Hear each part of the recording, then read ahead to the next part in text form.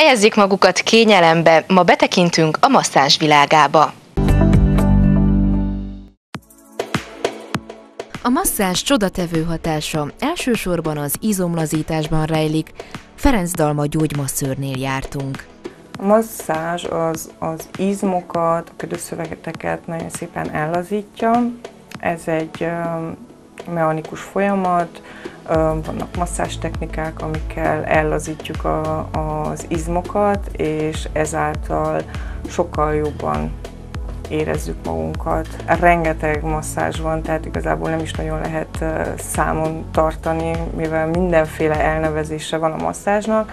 Itt Európában a svéd masszázs, az az elfogadott, ez az alap, ezen kívül vannak, ugye, van indiai ajurvéda, van japán, van kínai, van tájmasszázs, vannak akupresszúrás masszázsok, vannak wellness masszázsok, ezek közé tartozik a csokoládé masszázs, a mézzel való masszírozás, a lávakő masszázs, bambusz rúd masszázs, tehát hogy rengeteg féle masszázs van és masszázs technika.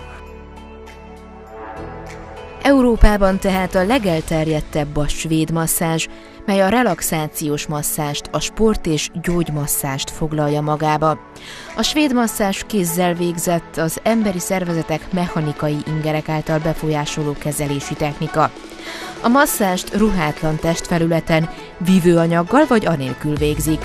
Az éppen nem kezelt testrészeket letakarják. A vendég jellemzően masszázságyon fekszik vagy masszázszéken ül.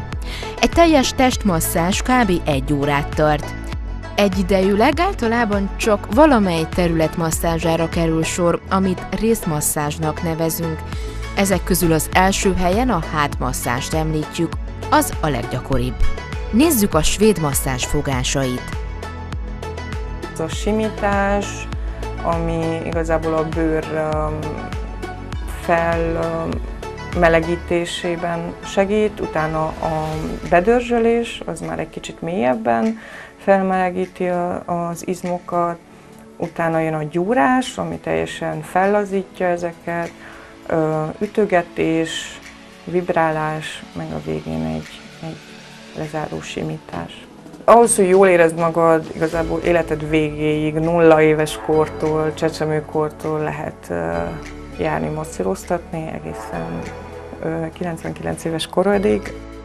Masszíroztatni érdemes, mert sokkal rugalmasabbak lesznek az izmok, fizikálisan is jobban érezzük magunk, illetve lelkileg is. A stressz az nagyon befolyásolja az izomzatunkat, egyből befeszül, és mi ezt észre sem vesszük, egyszerűen csak elkezd fájni a hátunk, a nyakunk, a derekunk, de addigra már azt jelenti, hogy nem nyújtottunk, nem sportoltunk eleget. Én ezeket mindig úgy mondom, hogy egyben jár, tehát hogy sportolás, masszázs, nyújtás, gyógytorna, tehát hogy ez mind-mind kell ahhoz, hogy tényleg egészségesen éljünk. Ne feledjük tehát, masszíroztassunk a jó egészségért. Köszönöm a figyelmet, viszontlátásra!